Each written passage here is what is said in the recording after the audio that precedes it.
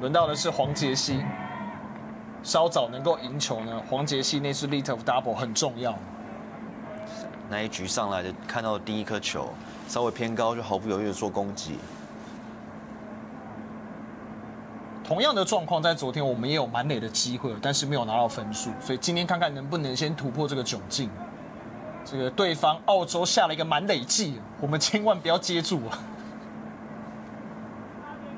哎，在规则里面我慢慢来是没有关系。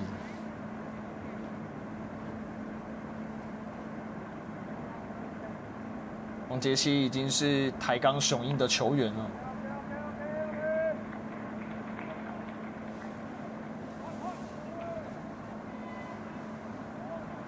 不过对上这种球速比较慢的投手，真的打者自己要去调整节奏。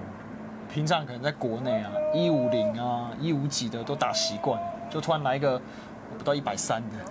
其实有时候反而遇到这种快的投手，你呃慢的投手，你不能想要只想要打大支的哦。对，击球点扎实反而是更重要。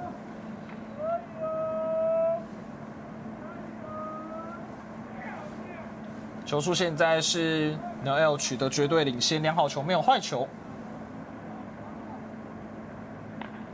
右半边方向，哇，穿出去出现安打，没有满垒击，而且右外野手第一时间球没有拿好，要再次让我们的分数回来。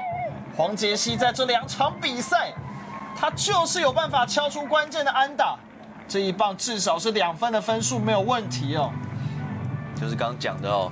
把球带进来，往反方向攻击哦，把球打强就有机会。很重要的一支安打，因为如果第一局满垒你没有办法有分数进账的话，这个压力又会回到我们身上。今天这个场地跟昨天就有一点不一样，昨天因为下过雨，所以呃球在地上滚动的速度就比较慢。不过今天可以看到，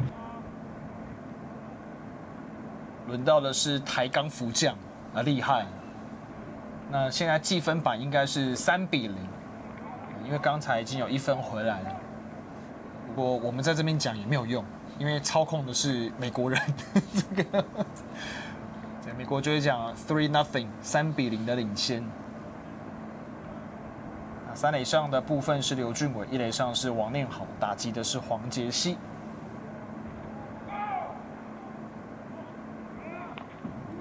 这边有战术的出现，而且直接打在了没有人的位置哦。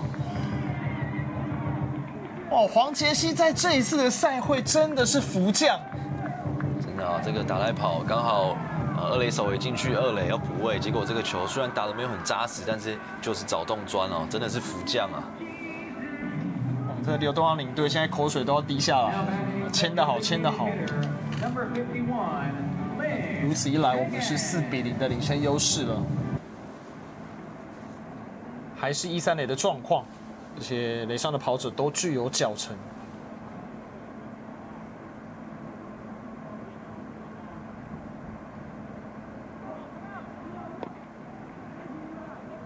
哇，这边出现的是双道垒。不过在澳洲这边，其实他们也没有注意到三垒上的跑者已经有起跑了。前面才刚要说，因为 Hogan 上来，他基本上都没有在看管一垒的跑者，所以这给了我们非常多战术的选项。